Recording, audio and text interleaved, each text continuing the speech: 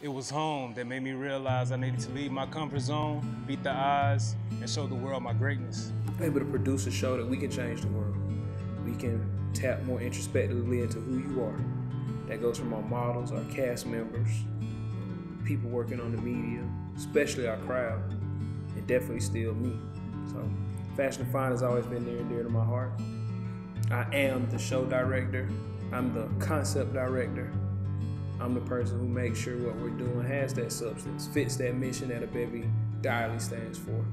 And I love it. I'm gonna do it forever. Forever, ever. Run away. Only way you can run away is if you run into yourself. So even those bad things, they're gonna tap into here, you're gonna figure out the good things. It's the only way to get out of the darkness and find the light.